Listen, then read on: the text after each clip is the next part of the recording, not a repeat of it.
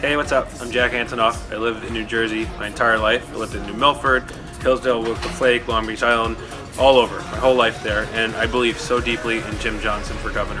Um, I believe that he will give New Jersey back to the people, that he will not discriminate against race, class, or religion, and create the New Jersey that I grew up in and know and love so much. And I believe in him, and I believe that all of us should get behind him. And I think that he is New Jersey and will deliver a great New Jersey. Jim Johnson for governor. Vote in the primary. Vote in the primary.